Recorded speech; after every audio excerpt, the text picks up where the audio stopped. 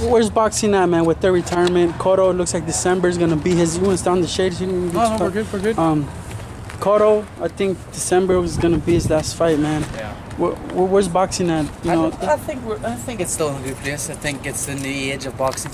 Uh, you know, you've got new fighters coming up, like Oscar Valdez, Jessie Magdaleno, you know, world champions now, young world champions, uh, and I think they're going to continue along with myself and uh, and the new prospects t- turning pro. I think it's definitely the new age for boxing. Uh, all the greats are kind of retiring now, and you know, it's time for the, the, the new blood to come through. I gotta ask you about the Mayweather McGregor fight, but in particular to the situation with Paulie Malignaggi, man. If I'm pretty sure you've kept your, your ear to it. What, what do you make of that situation, man? Looks like he, he said he's gonna bring Paulie in. He told me McGregor was, I'm gonna bring him in. We're gonna have a knock, and then we'll see. It looks like he just wanted to bring Malignaggi in, give him a beating, send him home.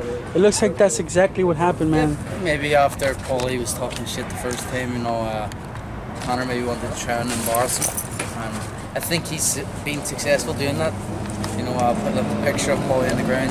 I'm not going to say whether it was a KO or, or a, a knockdown or a push because I don't know, so you know, I can't comment. But Paulie is adamant that it was a push, and you know, if that's the case, that's the case. I think McGregor just went in and tried to embarrass him so by up uh, photos like that. Who broke the the, the he, Paulie keeps talking about ethics, but he's also been rating McGregor's power in front of the cameras. Uh, McGregor in return is releasing pictures here and there. Obviously, the one that really made him go off is the one where he's on the floor. Yeah. But who kind of broke the rule there? Because it's kind of a rule that you don't you don't share what's going on in sparring. You Yeah, what happens in the gym stays in the gym. So you know, uh, I don't know. You could.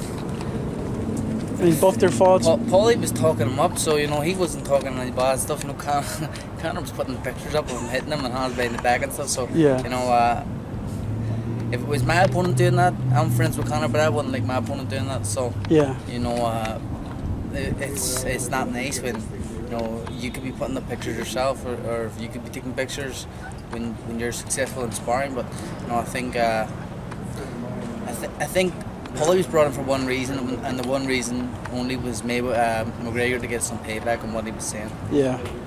Tell the fans what you follow. McConnell 11 and everything. Cool. Appreciate you, Mick.